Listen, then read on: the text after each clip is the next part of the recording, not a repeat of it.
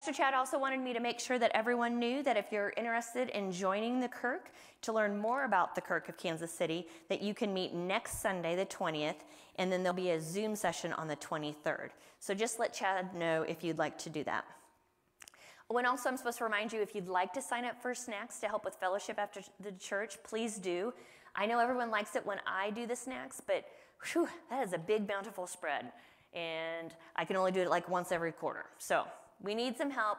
Even if you grab a group of people and decide to do fruit and vegetables or cheese and crackers or cookies, find some other people to help gather and do that fellowship for us today or work on doing that fellowship together so we can spend time together. The weather's getting warmer, so we'll be able to be outside. And we will be having more um, COVID updates about what our church and our policies will be very soon. Now that we're done with the announcements, we can get started. The mercy of the Lord is from everlasting to everlasting. God's love endures forever.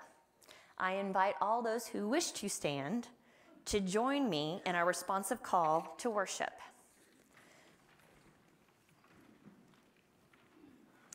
And if you are following us online, I apologize. Woo, hole. Um, that you are not able to pray with us, but I hope everyone has a bulletin, and in the sanctuary, we will talk loud enough for you. We are called to be the people of faith in the midst of the world. And so we mix our worship and our work, our faith, and our life.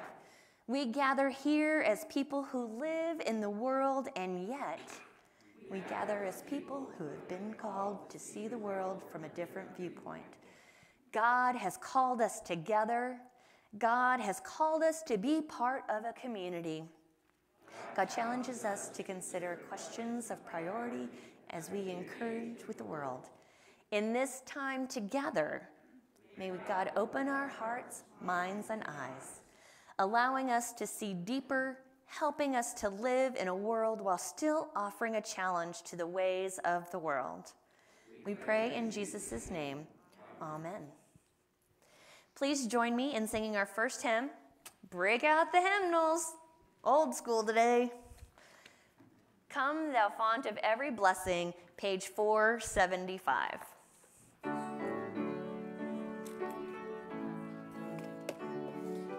then you know you're doing. Okay. Come, thou fount of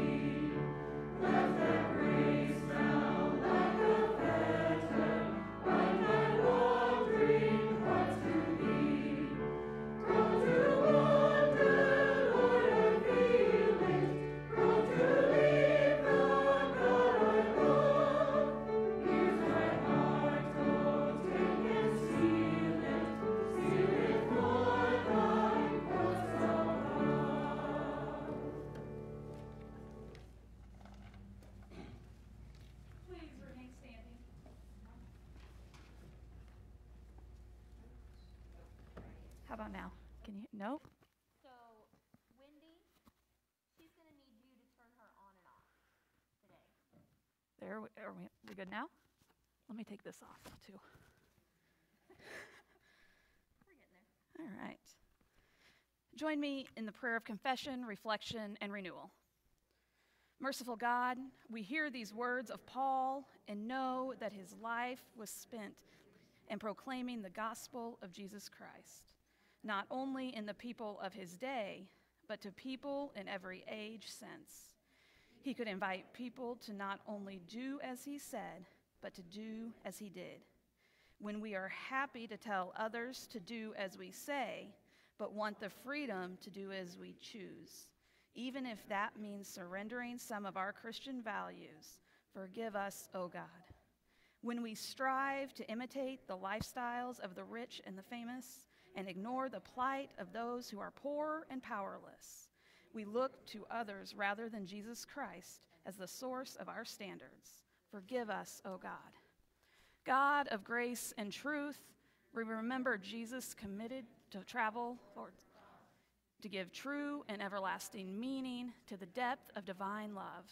Empower us with the Holy Spirit to deepen our commitment to follow Jesus, even when that means being ridiculed or persecuted, or sharing in the struggles and sufferings of others. We, we pray in Jesus' name. Amen. Friends, hear the assurance of forgiveness. And so, friends, believe the good news of the gospel. In Christ, we are all forgiven. Thanks be to God. Amen. Please be seated.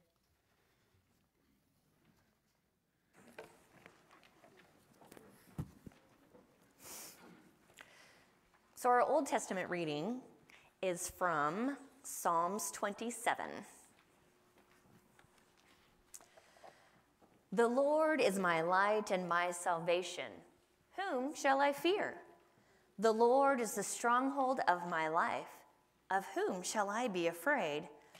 When evildoers assail me to devour my flesh, my adversary, adversaries and foes, they shall stumble and fall. Though the army encampment against me, my heart shall not fear. Through war rise up against me, yet I will be confident. One thing I ask of the Lord that will see that I will seek after, to live in the house of the Lord all the days of my life, to behold the beauty of the Lord and to inquire in his temple. For he will hide me in his shelter in the day of trouble. He will conceal me under the cover of his tent. He will set me high on the rock. Now my head is lifted up above my enemies all around me, and I will offer his tents sacrifices with shouts of joy. I will sing and make melody to the Lord. Hear, O Lord, when I cry out loud. Be gracious to me and answer me. Come, my heart says, seek his face. Your face, Lord, I do seek. Do not hide your face from me. Do not turn your servant away in anger. You have been my help. Do not cast me off. Do not forsake me, O God of my salvation. If my father and mother forsake me, the Lord will take me up. Teach me your way, O Lord, and lead me on a level path because of my enemies. Do not give up on me to the will of my adversaries, for false witness have risen against me. They are breathing out violence. I believe that I shall see the goodness of the Lord in the land of the living. Wait for the Lord. Be strong. Let your heart take courage and wait for the Lord. And now we have a beautiful prelude. Not prelude, anthem. Getting there.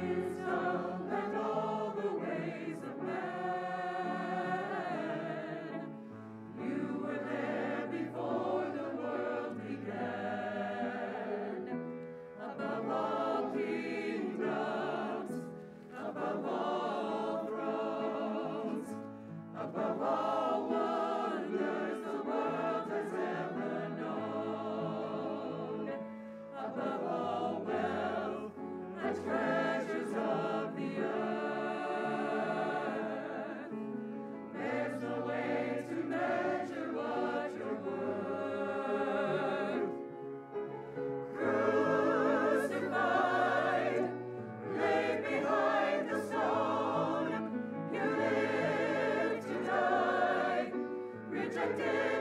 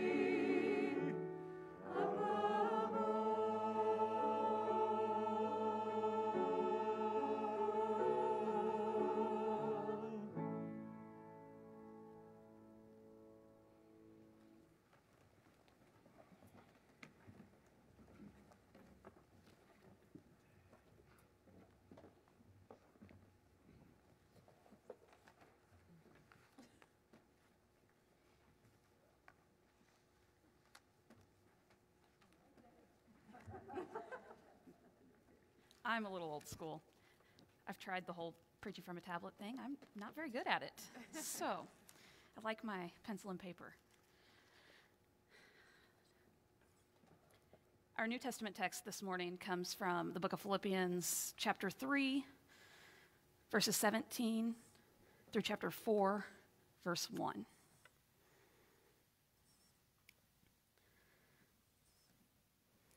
Brothers and sisters, join in imitating me and observe those who live according to the example you have in us. For many live as enemies of the cross of Christ. I have often told you of them, and now I tell you, even with tears. Their end is destruction. Their God is the belly, and their glory is in their shame. Their minds are set on earthly things. But our citizenship is in heaven, and it is from there that we are expecting a Savior, the Lord Jesus Christ. He will transform the body of our humiliation that it may be conformed to the body of His glory. By the power that also enables Him to make all things subject to Himself. Therefore, my brothers and sisters, whom I love and long for, my joy and my crown. Stand firm in the Lord in this way, my beloved. This is the word of God for the people of God. Thanks be to God.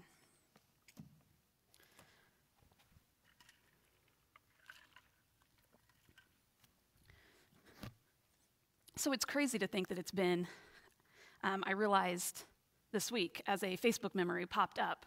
Um, nine years ago this week, I was preparing to end my time here at the Kirk um, as the youth director. I cannot believe it's been that long.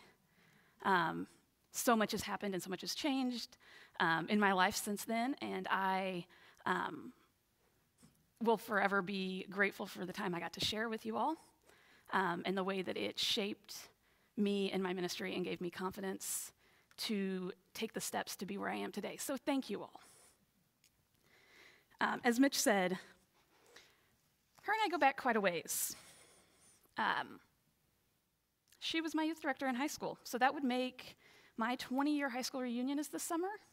So that would be, we're looking at about 25 years here. I'm not sure when I got that old, but if I, that makes me that old, how old is she? Well, I had to now. I had to laugh because otherwise I'll get too sappy. And I don't want to get too sappy because if I'm honest, her impact on my life and faith has played a, a tremendous role in me standing here before you all today. Needless to say, I have a lot of memories that involve Mitch. One of my favorite, though, is actually quite fitting for today's sermon, so I thought I would start by sharing it. With church being uh, directly across the street from our high school, my friends and I would often go hang out with Mitch after church or after school. Um, one day during Lent, my boyfriend and I were hanging out at the church like normal. Had, we had both given up caffeine for Lent. As high school students, that was a pretty big deal. That was really hard. It's still really hard. He was also very unaware that chocolate contains caffeine. And so we're hanging out, and Mitch and I notice about the same time, he starts eating a chocolate bar. We kind of look at each other and both immediately start to give him a hard time. After a few minutes, he started to look a little worried. So finally, Mitch was the nice one and uh, gave in and assured him that, uh, you know, God wasn't going to hate him or stop loving him for that matter because he broke his Lenten vow. We might have both given him a really hard time for a while about it, but I don't think he held it against us too much. We kind of still laugh about it today. I asked Mitch, I was like, Do you think he'll care? She's like, No, he laughs about it. We, we occasionally talk about it from time to time. But I thought it was funny being in Lent, and I'll come back to it a little bit later. It is on the second Sunday in Lent, uh, the church season leading up to Easter, where we're called to step back and reflect on the way in which we are living. The lectionary provides us with this text from Philippians, where Paul presents two contrasting versions of Christian life. Speaking to a small group of believers in Philippi, a proud Roman colony, Paul explains that not all those who call themselves Christians are the same. They are those he calls enemies of the cross. And then there are those, like himself and his followers, who stand firm in the Lord. He implores the people of Philippi to imitate him.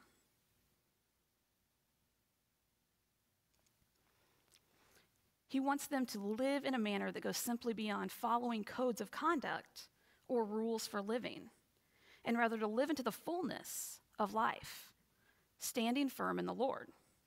And I want to spend some time exploring what Paul means by following his example and standing firm in the Lord. But before I do that, I want us to consider what it means to live as enemies of the cross. On the surface, one might not think that being an enemy of the cross is such a bad thing. After all, the cross was a tool of intimidation, of pain, and suffering. Crucifixion was an act of torture.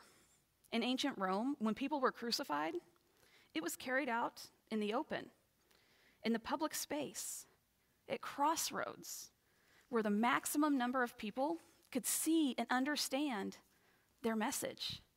Mess with the empire, and this is where you'll end up.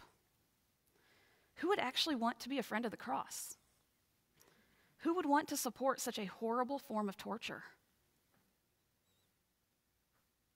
Being an enemy of the cross only seems to make sense, especially for those who claimed to be Christians, whose Lord and Savior experienced humiliation, torture, and death by way of the Roman cross.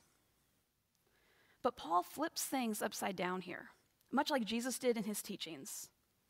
Paul says that it is, in fact, those who do not follow Jesus who are the real enemies of the cross those who find their identity in earthly things and live, in world, live by worldly, san, worldly standards, such as self preservation, self satisfaction, and self obsession.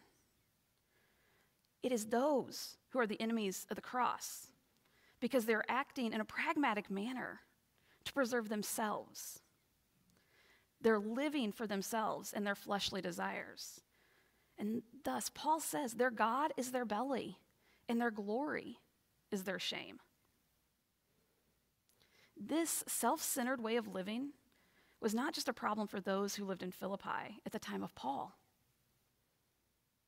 but rather in every age and every place.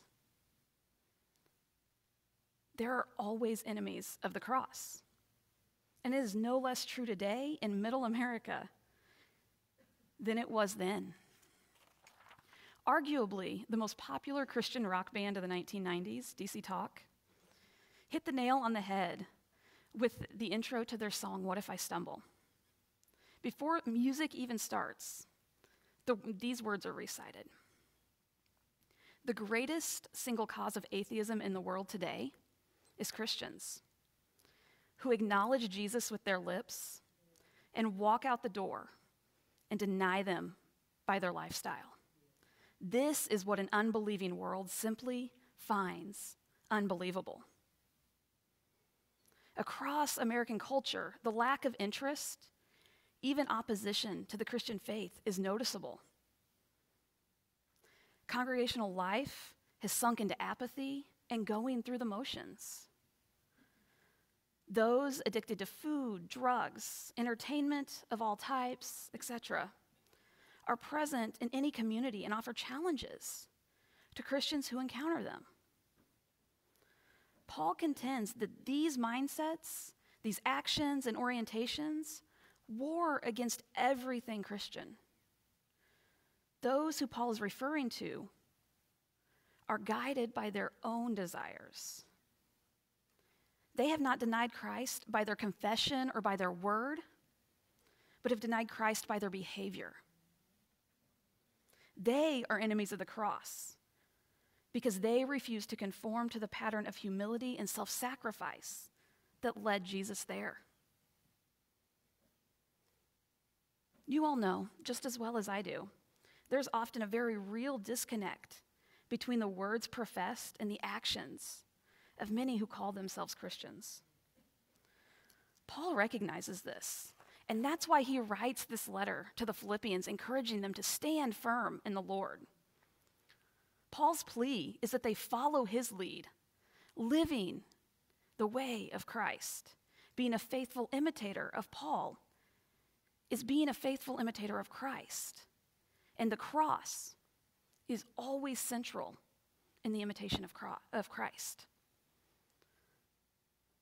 Paul's confidence is held by the way in which Jesus approached the cross. Jesus faithfully loved. Even as he died, he continued to love and trust God. It was in love that God raised him from the dead. It is this power of love that is the greatest power. And it is in this power that Paul appeals to Christ to his Christ following family to stand firm. To follow the way of Jesus is to love and accept the death imposed by the imperial power. To love whatever the cost is a refusal to accept and bow to the values of the empire this love is not passive. Love, rather, is active in forgiveness and mercy and kindness. Love is creative, even in the midst of destruction. Love is relational, even as relationships are broken and death ensues. Love is hopeful, in, even in the midst of despair, and love is trusting. It is into this type of love that Paul encouraged the community of believers in Philippi to live. And it is into this type of love that we are called to live today as well. It's also important to note that this kind of living is not a solitary job, but rather one that is best done in community. Paul is directing the gaze of the community not towards some type of individual perfection not some perfect way of living, getting it all right. It's not even towards the supreme perfection of Christ, but rather to the realization of Christ's love within community itself. The community is never perfect. It struggles to understand how faith is lived in the world and in a particular local context. Paul holds that struggle as the way of right living. Engage in faith, or engage the faith in the messiness of life, he says, not just individually, but as a community. Thus, the enemies of the cross are those who make their own lives the focus of their attention. This is what the church should be the church is to be the body of Christ. It should be a community bound by God's love. And in response to God's love, we are called to love. When questioned, Jesus said the greatest commandment is to love the Lord your God with all your heart, mind, soul, and strength, and to love your neighbor as you love yourself. This is not only a command for us as individuals, but as for the church as well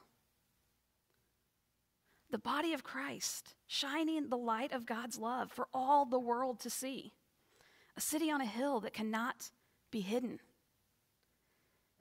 This is the life Paul is pleading with the people of Philippi to choose when he encourages them to stand firm in the Lord. This plea is no less significant today for those of us who call ourselves Christians than it was for his small community of believers then. Yet, as the words from DC Talk harshly remind us, we aren't doing a very good job of this.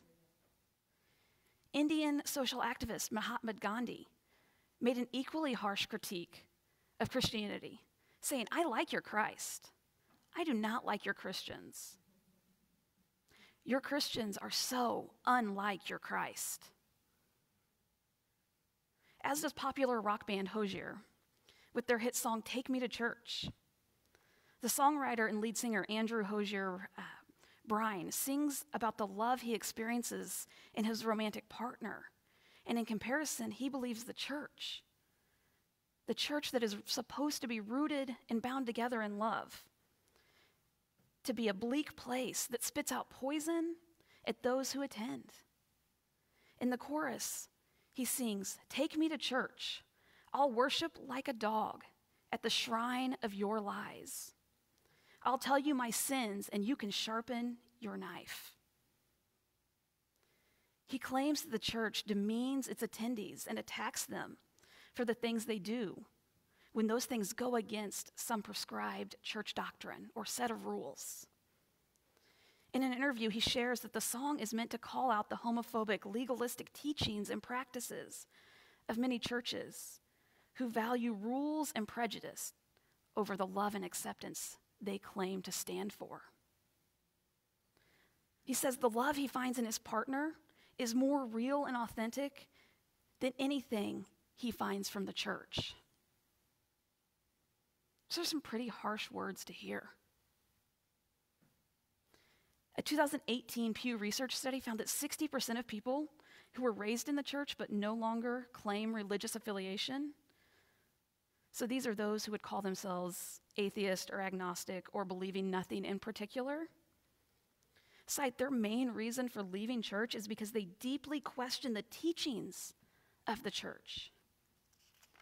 In other words, it's the disconnect between the loving God, whom the church claims to worship, what is taught, and what is lived out each and every day by those in the church. If I'm being honest with you, standing before you as a person going through the ordination process to be a minister of Word and Sacrament in the Presbyterian Church USA, I too often struggle with this institution that we call church today. I have personally been deeply hurt by the church in many ways throughout my life as I'm sure many of you have. I have wrestled with doubts because I have been condemned and excluded for nothing less or nothing more than living fully into the person God created me to be.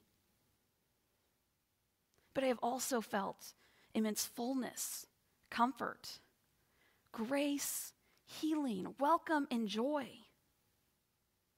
that comes with God's love through the body of Christ. So this morning, on this second Sunday of Lent, I come to you much as Paul did to those in Philippi, imploring and encouraging you to stand firm in the Lord. Let this season be what it is intended to be. Let it be a time to step back and reflect on how we are individually living as well as how we are living as a community. What does that look like?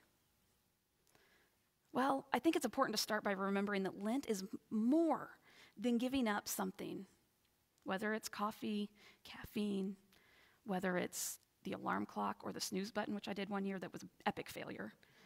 Um, we won't go there. Um, it doesn't matter what it is. If you're giving it up for the sake of giving something up, it's not worth it. It defeats the purpose. It's about more than following a prescribed set of rules and regulations or keeping a detailed record of what we and others did right and or wrong. It's more than simply going through the motions of being Christians and being the church. And it's more than our limited human understanding of God's love. Rather, it's recognizing that we cannot put God in a box. We cannot put limits on God's love. It's being aware of the motives behind our actions and reconnecting what we profess to believe with the way in which we actually live. It's about imagining ways to follow the example of Jesus through humble and self sacrificial living for the sake of others. It's about living fully into what Jesus said is the most important thing to love the Lord your God with all your heart, mind, soul, and strength, and to love your neighbor as you love yourself. And this is both individually and as the body of Christ. And it's resting in the promise that even when we do mess up, because we're going to, nothing can separate us from God's love.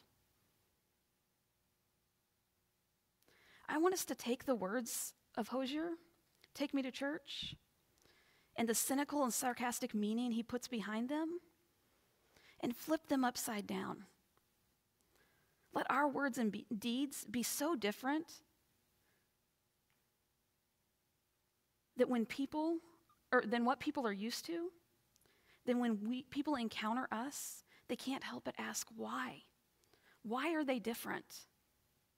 And when we share that it's the limitless nature of God's love, they can't help but say, Take me to church. But how, you ask? I can't tell each and every one of you that, other than it starts with love. And with love as the backdrop, I want to offer you these three simple questions. One, whom do you want to be like? Two, what do you want out of life? And three, how open are you to being changed? As you ponder those questions, I want to leave you this morning with an unknown quote I stumbled across a few years ago. Act in such a manner that you are living proof of a loving God. Amen.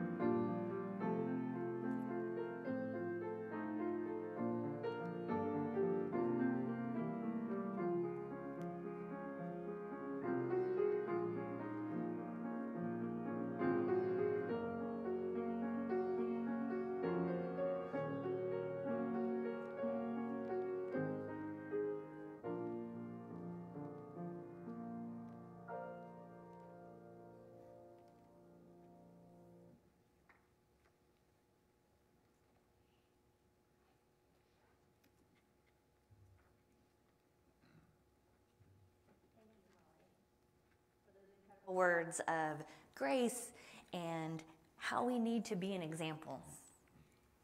So, our worship service, and actually, I, on a personal note, I do have to say that I was a lot meaner to Jason when I told him that when he was eating chocolate, I might have said he was going to be condemned to death. So, thank you for not saying that part. Um, but we had a good conversation after that, and he, he did understand he was not condemned. So. Our worship service always includes a moment of thanksgiving. This is an opportunity to make note of God's many gifts in our lives and where we pledge ourselves to use those gifts as God invites us to use them, namely to make the world a better place for others, to reinvest them in other people for the common good, and to show people and to get people to want to come to church. We are grateful for all you do in your own communities and through this church to share God's love and compassion. If you're looking for a place to do that, we'd love to have you join us here at the Kirk.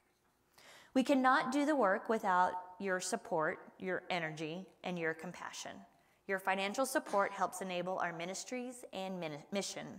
If you're worshiping on site, we have offering plates available in the narthex. You can also contact the church office for more information about how you can take part in our common work. Both your contributions here among us and your work in the wider world, we thank you for your spirit of generosity and for those of all of you, for all of you that strive to be Christ's hands and feet in the world. I ask you to please join me in prayer with the prayer of thanksgiving that is printed in the bulletin. For the ways you love us, we say thank you. For the ways you provide for us, we say thank you. For the opportunity to give, we say thank you. For the kingdom work this offering will do, we say thank you. For letting us be a part of your work, we say thank you. May the thankful words on our lips and the thought, thankful meditations of our heart be acceptable to you, O God, our rock and our Redeemer. Amen.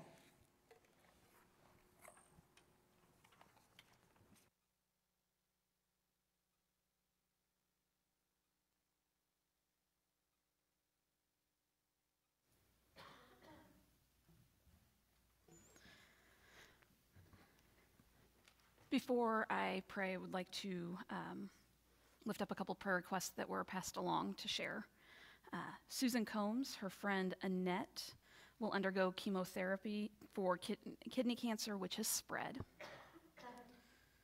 In prayers for Matt's family on the death of his daughter. Let us pray. Gracious and loving God, we praise you for the mercy shown grace giving, living water, Spirit's power. We ask you for daily strength, hope for tomorrow, your word to guide, strong feet to follow. The psalmist says, Show me your ways, O Lord. Teach me your paths. Guide me in your truth and teach me, for you are God, my Savior and my hope is in you all day long. God of the oppressed, we bring to you the broken ones, forgotten ones, exploited and abused ones. Bring freedom and release, love and compassion to damaged hearts and souls. We lift them before you now. God of compassion, hear our prayers. God of the distressed, we bring to you the grieving ones, hurting ones, suffering and wounded ones. Bring wholeness and healing, comfort and relief to broken bodies and minds. God of compassion, hear our prayers. We bring to you the lonely ones, the homeless ones, thirsty, tired, and penniless ones. Bring hope and sustenance, physical and spiritual food to hungry bodies and souls. God of compassion, hear our prayer. The Lord is good to all and has compassion on all God has made. May the peace, love, and compassion of the Lord be with you now and always. And we pray together, lifting all of those needs that have been voiced into the community and those we hold close to our hearts. As we pray in the manner Jesus taught his disciples. Our Father, who art in heaven, hallowed be thy name. Thy kingdom come, thy will be done, on earth as it is in heaven. Give us this day our daily bread, and forgive us our sins as we forgive those who sin against us. It's not into temptation, but deliver us from evil. For thine is the kingdom and the power and the glory forever. Amen. Our closing hymn is We Are One in the Spirit, number 300. Please stand if you are able.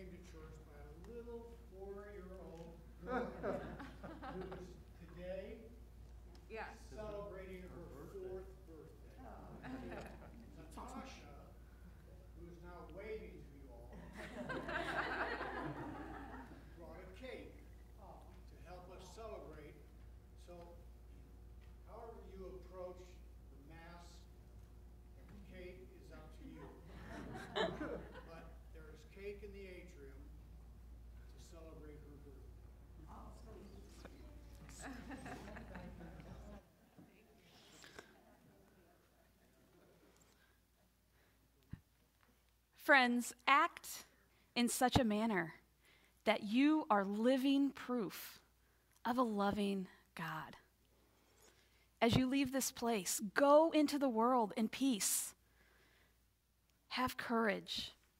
Hold on to what is good. Return no one evil for evil. Strengthen the faint hearted. Support the weak. Help the suffering. Honor all people love and serve the Lord, rejoicing in the power of the Holy Spirit. And may the love of God, the peace of Christ, and the communion of the Holy Spirit be with you now and forevermore. Alleluia. Amen.